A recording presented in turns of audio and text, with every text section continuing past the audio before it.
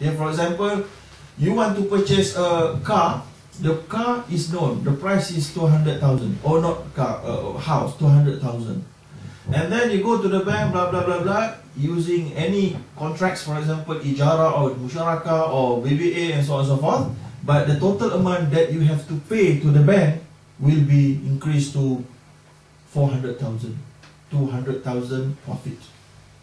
So it's zulm. Some people say, how come the bank will the bank impose this kind of charges, this kind of profit, 200,000? Is it accepted, acceptable? From Islamic point of view, there is one magazine, magazine, okay? It's called Al-Aslu fil Uqud, Al-Aslu fil Uqud, uh, uh, Al-Ridha Bain al-Muta'aqidain. The original rulings in every contracts, commercial contracts in Islam is the consent of both parties. When both parties give their consent, so there is no more zulm. There is no more coercion. There is no more, uh, uh, uh, yes, coercion. You know coercion? The zulm, meaning... Uh, forfeit. Huh? A forfeit. Yes. Right? Because you have gave your consent. You have agreed with the price. You cannot say, I've agreed with the price, but I am not agreed. I am not agreeable. So, so how come? If you are not agreeable, don't come. Don't sign. Don't execute the contract. That simple. And then some people say, I have to because there is no more option out there.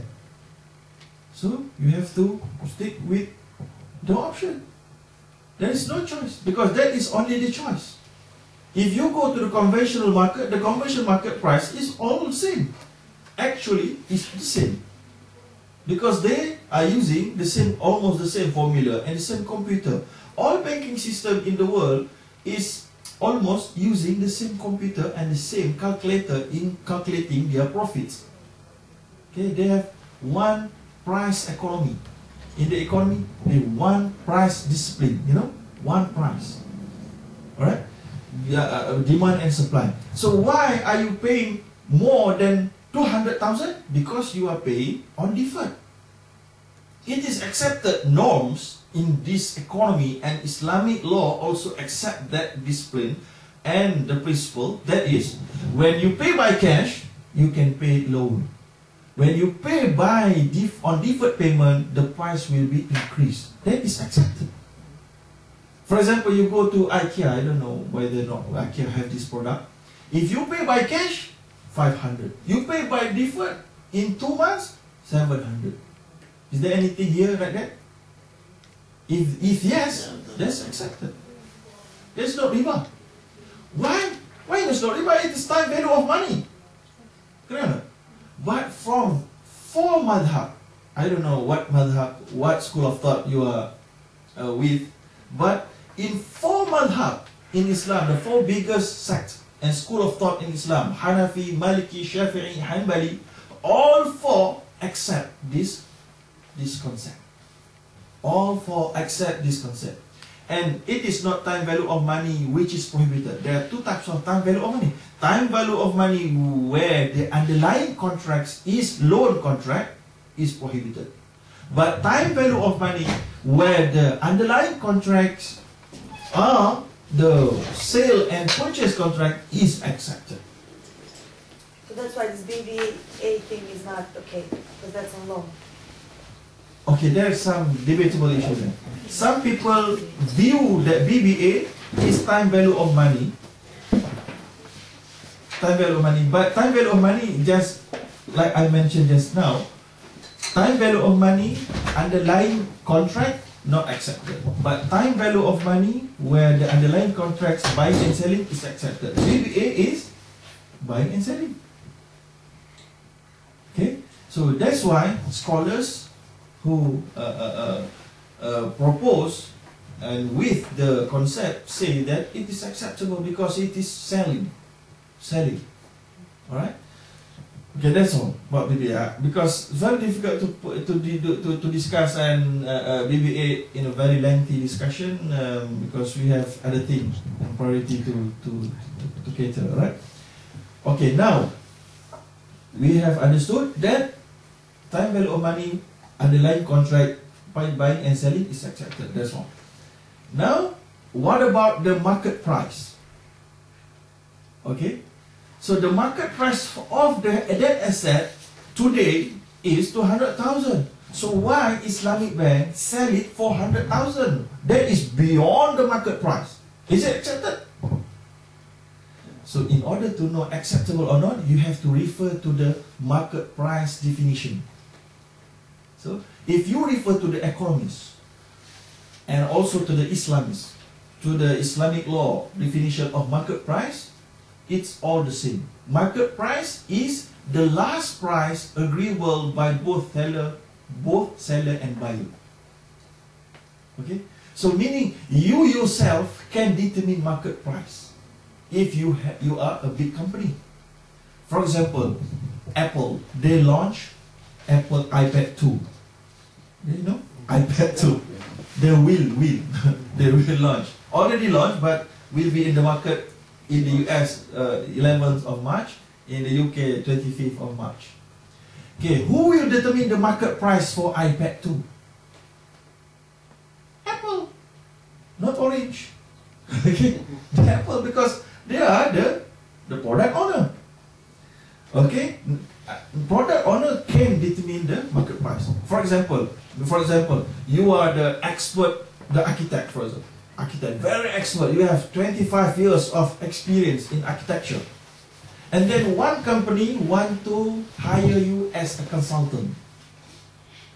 Okay, and ask for your price for one month for one month, for example, you have to be in their office for one month, 9 to 5.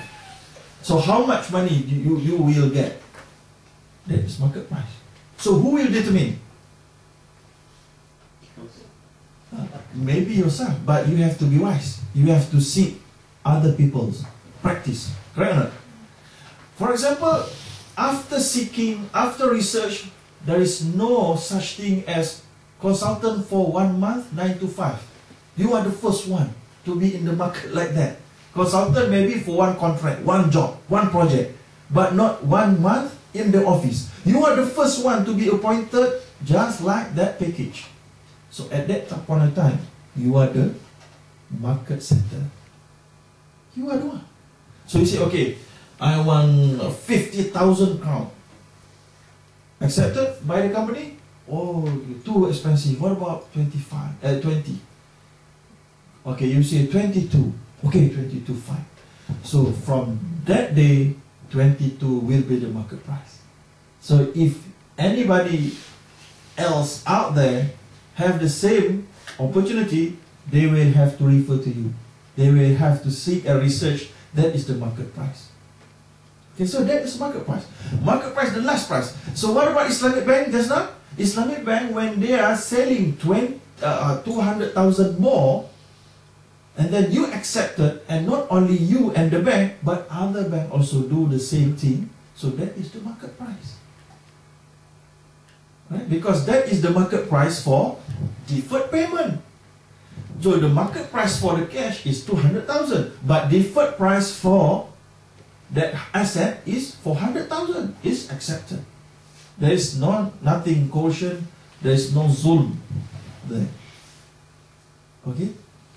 But Islamic Bank in Malaysia, they have a terrific, terrific, quite, quite interesting method in order to be competitive. Even though they have contracted with you that you have to repay, not repay, you have to pay the house for 400,000, but they have the method of payment, monthly payment. How? Refer to BLR. You know BLR? Base lending rate, interest rate. How come? People ask. How come this is Islamic bank? How come you are referring something to interest rate? Understood or not? The answer is that we are referring not to determine the price of the asset. The price of the asset is already accepted and agreed by both of us. 400,000. But what we are referring to is we want to give you discount. That's all. How? Like this. Uh, Can we put it? How? Oh, okay. Uh,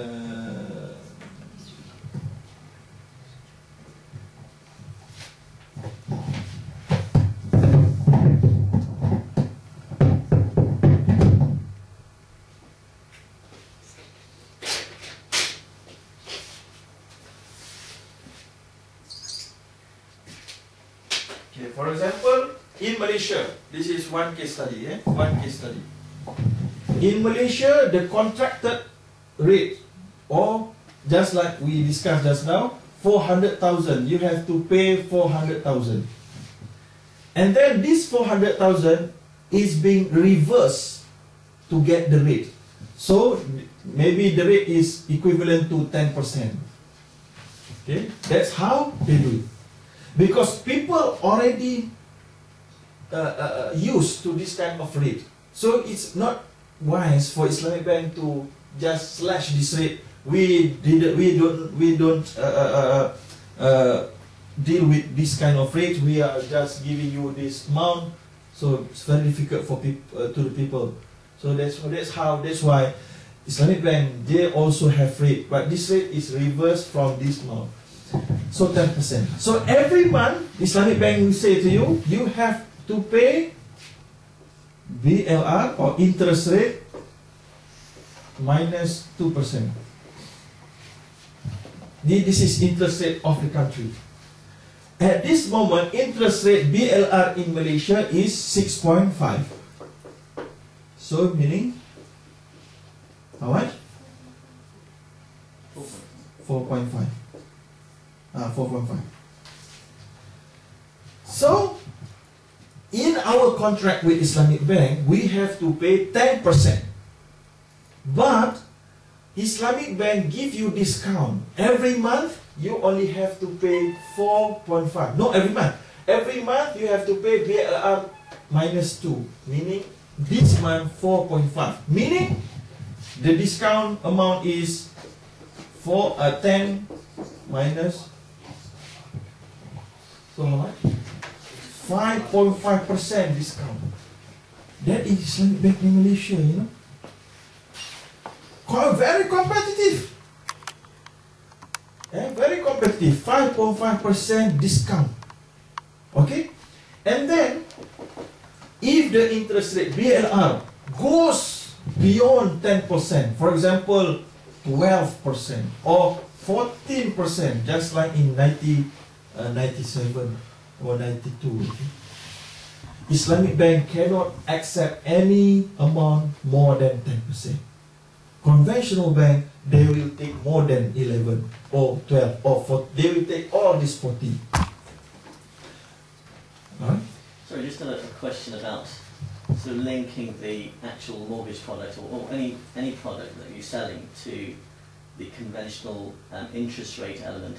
Is there any Islamic ruling on on um, how to calculate, for example, um, time value of money, um, and sort of because most people would have some kind of objection um, in terms of linking a normal product, halal ethical product, to the interest um, you know, the sort of conventional interest rate. I understand this. This one is one of the favorite questions by the public. Because they say you are selling halal halal product, you cannot link anything to the interest rate. Okay, in order to give answer, I just want to give you one analogy. For example, here in Sweden, it's very hard for us to find halal food.